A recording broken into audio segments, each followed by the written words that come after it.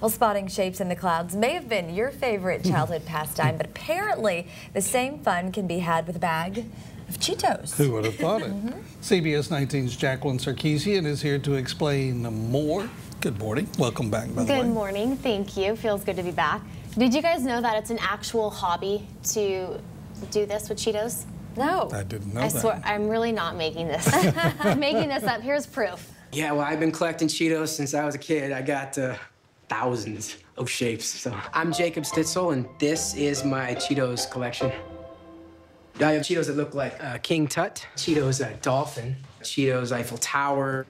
Well, yeah, all kinds of Cheetos.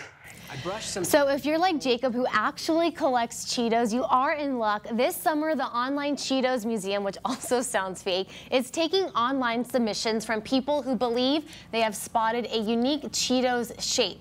People can upload the photos through the museum's website until August 15th. Okay, guys, Clint Dana, time to test your Cheeto skills. Can you guess what that is? Um, a bird. Yes, it is a bird. Good. The next one is something I love to do. I've been doing it for years.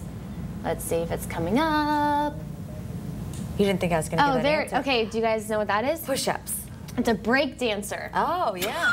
I didn't know you've been All right. doing that for years, oh, Jacqueline. Oh yeah, maybe one You'll another have to day break I'll out show some of you. those moves, Yeah, I'll show yeah. you my skills. Okay, so the third one.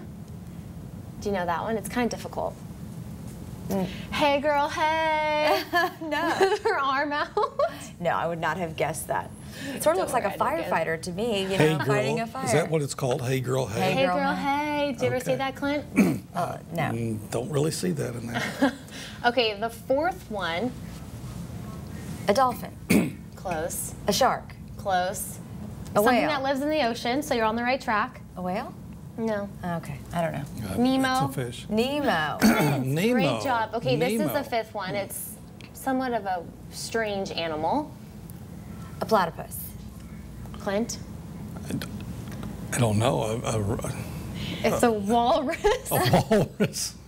So the top 10 winners will be awarded a total of $150,000 in prize money. Hmm. That's crazy. Wow. Crazy. I mean, And they're going to be online, so you can't see them, so you might could really get into the whole Photoshop thing. Oh, and they have to go through a process of making sure it's authentic. Authentic. It's a get an real email if it's approved. oh goodness. I eat them so fast I can't see shapes. Who has Yeah. time to stare at them? You just I- gotta. Just got to Pop 'em uh, in. Yeah, Bought some for the kiddos yesterday.